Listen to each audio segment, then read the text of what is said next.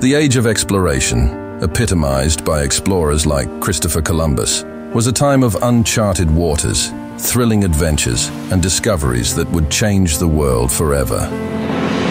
Christopher Columbus, born in Genoa, Italy in 1451, was destined for greatness.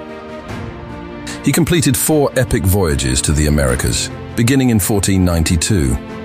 His journeys connected the old and new worlds, forever changing history through exploration and colonization. Sponsored by Spain's Catholic monarchs, Queen Isabella and King Ferdinand, Columbus aimed to find a westward route to Asia, especially India and its valuable spices. Little did he know that he would stumble upon a completely new continent.